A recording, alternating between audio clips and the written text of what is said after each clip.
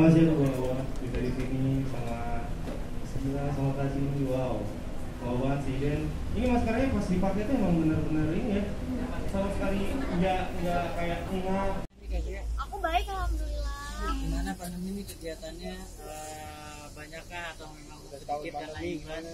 Kebetulan aku emang dari awal pandemi nggak pernah ngurangin kegiatan, cuman kan kayak off air manggung-manggung gitu kan nggak bisa ya. Jadi paling kerjanya ya dari rumah virtual gitu. Tapi alhamdulillah ada aja sih.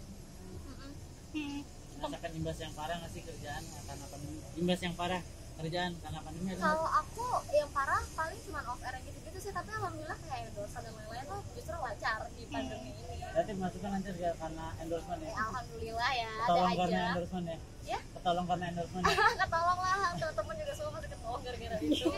Mbak boleh dong kemarin kan habis kena covid boleh dong ceritanya mbak jadi iya aku kebetulan eh, apa namanya tanggal 23 Januari kemarin positif COVID. Kalau ditarik lagi dari timelinenya aku ada kontak erat sih sama orang yang positif. Tapi seminggu doang alhamdulillah aku udah negatif. oh pas jadi kemarin kena seminggu habis itu pas udah nggak lagi Iya.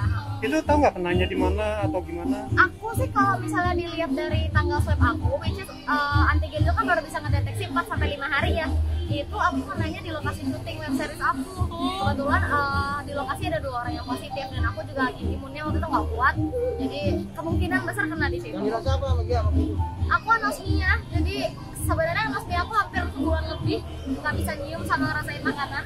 Terus waktu itu aku sempat eh, badanku kayak sakit-sakit aja, cuman aku pikir tuh kecapean. Ternyata itu salah satu gejala covid aku.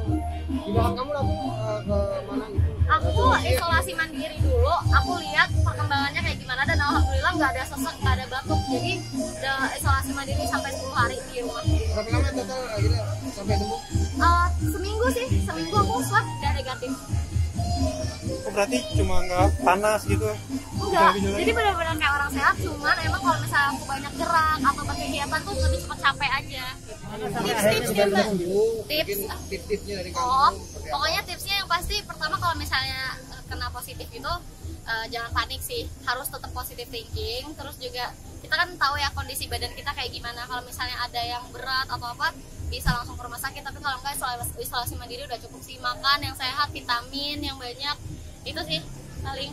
Nah, tanggapannya dong kak, ini kan covid udah setahun nih. Heeh. Eh, apa sih yang waktu itu yang dipingin dari KGA sendiri atau mungkin pencabutan soal ppkm atau apa biar biar bisa bermusik lagi gitu, fair lagi atau kalau aku sih karena ini lawan kita pandemi ya jadi agak bingung juga harus kayak gimana. Cuman aku sejauh ini ya mentaati aja lah peraturan pemerintah kayak gimana. Aku berharap masyarakat lebih aware aja kayak protokolnya lebih ketat lagi. Karena aku juga yang ketat kemarin sempat kena gitu kan. Dan apa ya semoga kita bisa bekerja sama lah supaya pandemi ini cepat hilang